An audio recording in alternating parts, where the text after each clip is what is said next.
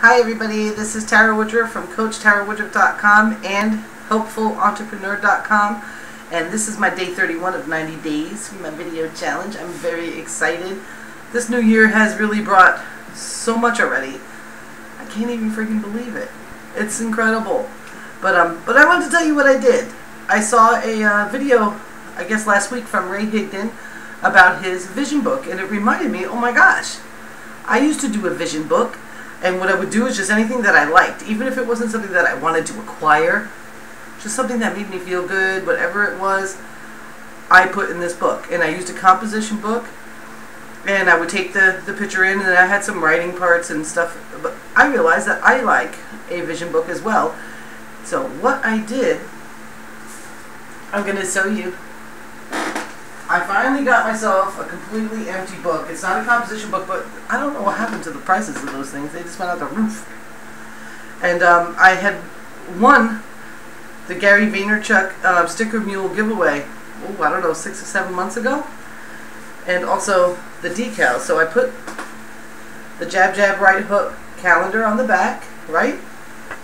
I also, because this is one of those cheaper OfficeMax books, I put the decals, some decals right down the center. So it's it's kind of like a nice design there. You see that? And it's got his his quotes and it also they're like um they're not like regular stickers. They're like a like a plastic, you know what I mean? That they're strong. So I figured that would be great for me to totally hook up the binding part so that it would be able to handle what I'm going to give it this this year. And I also put two more stickers in the front. And then what I did for the the name of the book. Can you read that? 2014 Vision Book. And I have a quote from Abe on here. You only have to ask once. It's not the asking we need to do again and again. It's the allowing that we need to practice. So I'm super excited. Nothing's inside yet. I have it's a blank book right now. Um, I got to cut some pictures out. What I suggest to do with these is very much like a vision board.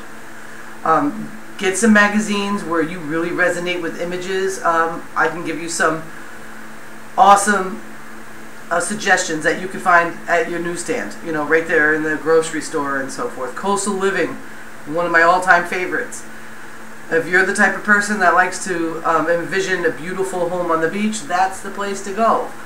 Um, and they do everything from cottages to mansions. Um, any kind of architectural digest for if, if you dig really high-end stuff, I'm a, a huge fan of chandeliers. You would never know.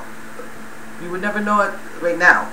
Chandeliers rock the world, and there's you know even in their advertisements, there's these beautiful pictures of, of different things and high-end architects and absolutely gorgeous mansions.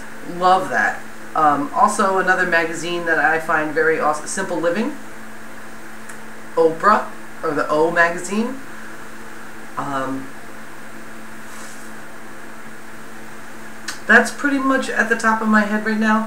When you when you look at when you think about physical fitness, I find that I find the bodies of women that I would prefer to have in like men's health versus a woman's magazine. Either, you know, like Cosmopolitan,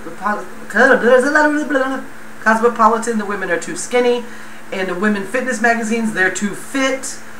It seems that in the Men's Health magazine, if you want to put a picture of a body that you desire or a physical fitness that you want to emulate, because your body's your body, and the girl's a model, and there's Photoshop, and it's not going to be perfect, and that's okay because she isn't either. You just can't tell, kind of thing. But they seem to be the healthiest looking bodies in the Men's Health magazine. Got me. I don't know why. I don't know why. So that's another great magazine. Also, um, if you are in love or you want to be in love or you envision an amazing relationship or something like that, get a bridal magazine or a honeymoon magazine. Condé Nast Travel is an excellent magazine, and I also love, love, love, love, love, love, and I know it's probably a sin to even cut one open. National Geographic. So, get out there, get yourself some magazines, or get subscriptions to some to save you some money, however you want to do it, and um, get physical with it. Cut things out. You know, use your scissors and get yourself a plenty of tape You know, I like the, the flat matte tape, and I cover the entire picture so it's like forever. And start posting it into your book, and you don't have to worry about coming back and saying, gosh, I don't have that anymore. As a matter of fact, don't even look back if that's how it makes you feel. Whenever you look at images of things that you desire to surround yourself with, it's an essence. And like Abe said, you only need to ask once. And if you're looking at it, it should feel good. You shouldn't, um, it should feel really good and you should be open and allowing and not be like, oh, why don't I have that yet? Another really great way, because magazines these days, I was pricing them out yesterday, you know, woo, a pricey. It's funny because it's not the, the medium that makes more money, which is a little strange. Why they would be so expensive? You would think they'd be giving them away, but that's that's not the case. Um, go on the internet. If you have a printer and you have a decent, you know, inkjet, whatever, you can find amazing pictures there. You know, uh, just Google images. Go look at, you know, sunsets, sunrises, couples walking on a beach, mansions on the ocean, you know, homesteads, whatever you're into. Go look it up, print a picture, and cut it out and put it right in your vision book or on your vision board. So that's super exciting. Also, don't be afraid to stick things on the outside. Um, like I did and this is going to get filled up with stickers, you know, with different pictures. So I love that. Anyway, um, also what I did is because I wanted to, you know, I know a book cover is supposed to save a book. But what happens when the book cover is so genius? The fonts are right, the texture's right, the quality of the paper's right, everything feels good about it, and you want to make sure that book cover never sees a day of shame. You take it off your book and then when you're done reading a book, you put it back on. That's what I do. And uh, this particular book, the cover is cray cray. Love it. I'm into that shit. I, you know, there was a period of time when I was, when I was young. I don't even know how old. Tenth grade. I was down, down with graphic design, and fonts really turned me on. I'm a font freak. Crazy. Love font. But that never ever panned out for me. You know, that never, it, wasn't that it didn't pan out, it just never held my passion long enough to go through what it takes to get somewhere. But I've always kept with it. I've always enjoyed it. You can kind of tell I really like making banners and graphics and stuff. I just do, you know, I just choose font and put it on there. I don't create font. I don't know HTML code. But I know good um, ad copy when I see it. I know when it's compelling, and I absolutely love the cover of Jab, Jab, Jab, Right Hook. So I took it off, and I put it on my bookshelf, and I put one of the stickers that I won from Gary Vaynerchuk, Vaynerchuk, Gary V, at Gary V on Twitter, um, and put it right on the front. So it's kind of sexy, don't you think? Like, check me out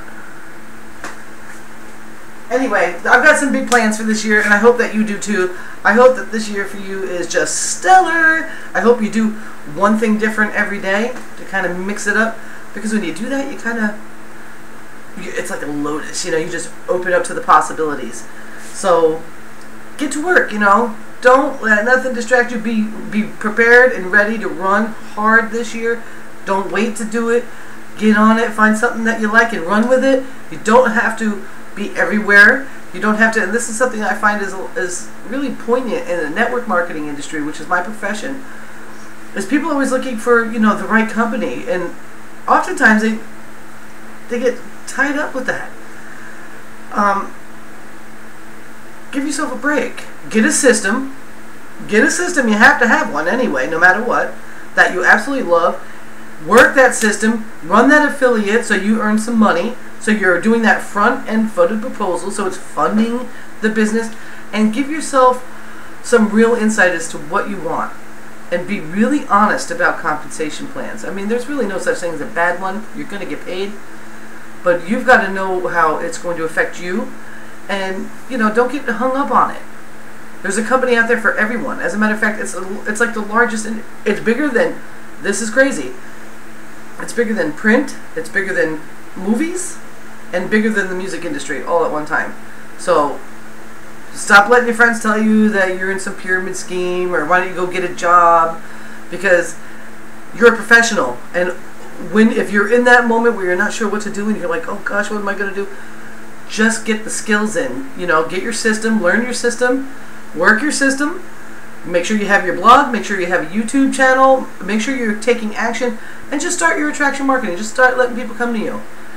And then when you find a place, it's not going to be something that you're going to have the need to be like, uh, you know, blasting it out. You know, you, you'll be able to send your list, hey, this I found this, and this is something that I think you should all look at because I looked at it and I really dig it. And, you know, do stuff like that. Don't get hung up on it because the end result is going to happen.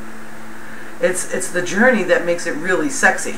So if you're if you're honing your skills as a network marketer because those the professional skills that you're going to gain that you're going to need are going to set you apart from from people out there that do have a job that you know their company's got to hire teams of people just to figure out what you do every day.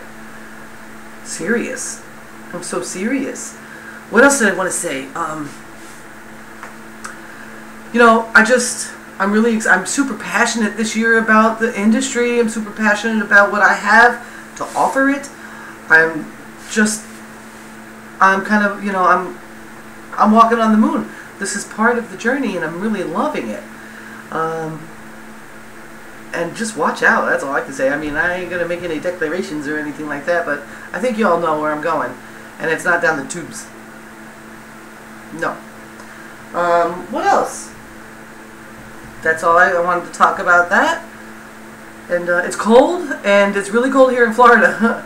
I know looking at me right now you can't really tell it's cold. I'm in a t-shirt. We do have the heat on, which is kind of I did not do the heat last year or the year before. Um, and it's going to go away for us, thank gosh. You know, right away. Like tomorrow's going to be 60 degrees. Beautiful. And I'm, you know, in this coldness, I'm looking, and I kind of, you know, I ignore the cold all the other times all across the country. You know, I know people are cold. Man, I don't know how some people are doing it. I know that there are so many homeless people out there that just how, how are they doing this? You know, how are they banding together to stay warm? How are they managing in this? How many people passed away last night in their sleep because it was cold? That's some scary stuff. So, um, you know, I want to encourage you this year to um, be more so that mayhap you can inspire someone else to be more. And um, homelessness is not a disease. It's not um, something that makes you a bad person. As a matter of fact, it's freedom.